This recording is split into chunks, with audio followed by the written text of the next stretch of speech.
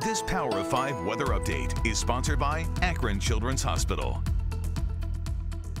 All right, meteorologist Cameron Harden, we got a lot to talk about in terms of what's happening over the next 24 hours. This big system further out here to the west, that's going to be chugging along, moving in right around the lunch hour tomorrow for our entire area. And you take a look at half of it being rain further down to the south, go a little further up to the north, you're going to be getting that snow and wintry mix. That same kind of equation is going to be in line for us tomorrow as well in terms of who gets the accumulating snow, who gets the snow that melts on contact, and who just sees flat out rain. And it's all going to depend on your temperatures in the afternoon who stays right around that low to mid 30 range, who warms up a little bit. So one of those systems where it's going to be uh, kind of throwing that uh, dart at the dartboard over the last few hours before that moves on in. So those roads, they're going to be slick no matter what, though. You're going to have rain, you're going to have snow. Nonetheless, uh, if you're heading out there in the evening hours, you're going to be extra cautious. And it all shows here on our timeline for this. So this is 10 a.m. tomorrow. Pretty much everyone, especially off to the west, already seeing this system move on in. Further south you go, closer to Akron and Canton, you're going to be seeing those temperatures drop down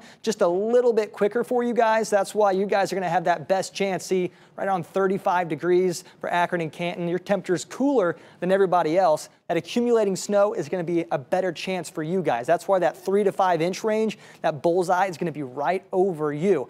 Not everybody's going to get three to five inches. You might get lucky and temperatures might be a little warmer. And it's only going to take about one degree to make a big difference. So you guys could only see two to three inches. Three to five, though, I think is at least a possibility for your evening tomorrow. By the time you get to the late evening hours tomorrow, that should move out, at least the bulk of it. You'll still be stuck, though, with a few chances for some scattered snow showers all the way up until Tuesday once you get past the uh, right around noon, 1 o'clock hours for you guys. So that morning drive is fine. It's the afternoon drive that's going to be the issue. And that snow won't stick around too long. You take a look at Tuesday and Wednesday, you're already back up into the mid 50s. We're talking 70 by the weekend.